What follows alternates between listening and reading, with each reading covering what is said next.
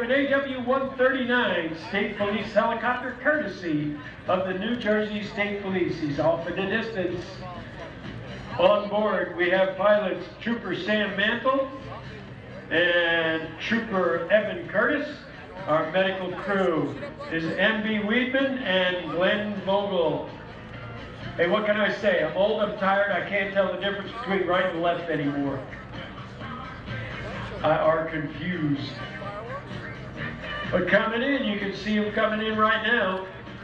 The AW-139 State Police helicopter. They come in handy for so many things. Helicopter can be used for medical evacuations, traffic control, and search and rescue.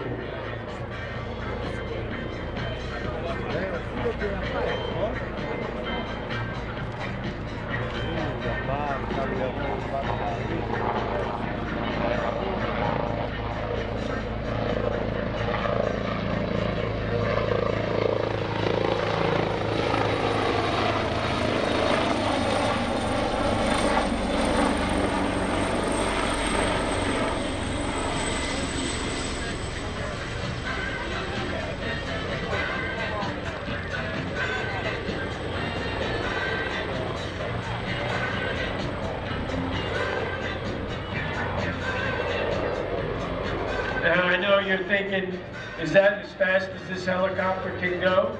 The answer is no, it can go much faster.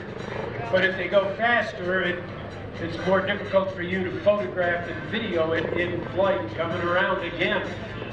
Showing you the Agusta AW-139 helicopter. Built over there, uh, well, I believe they're built in this country, but it is an Italian company. Looks like they're easing into a hopper here.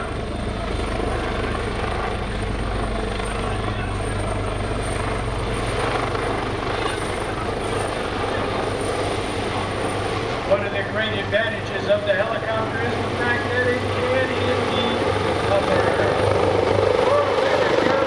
on the trees, you surely don't want to be under this thing unless you absolutely have to be.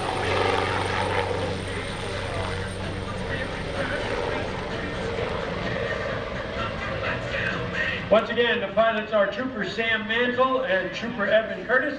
The medical crew is MB Weidman and Glenn Vogel.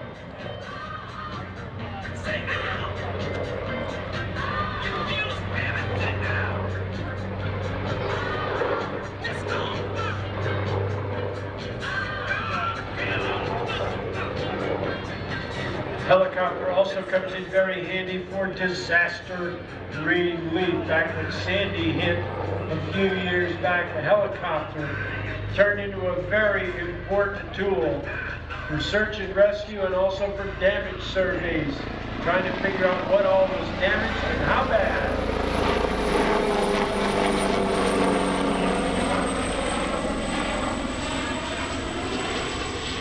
Tell you what, that's a good sized helicopter.